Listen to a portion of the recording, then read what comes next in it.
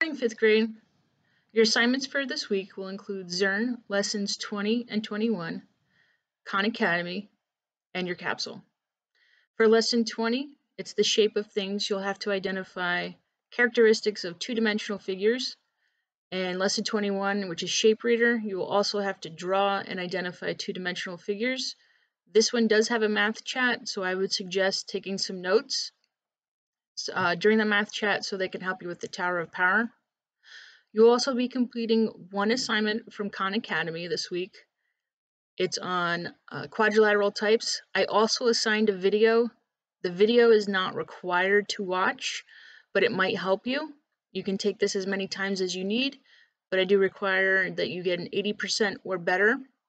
If you're having difficulties, you know that there's a hint in the video that you can watch.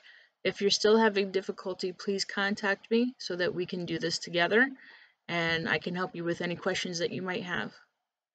The capsule portion for this week is completely optional. It does not affect your grade if you don't complete it.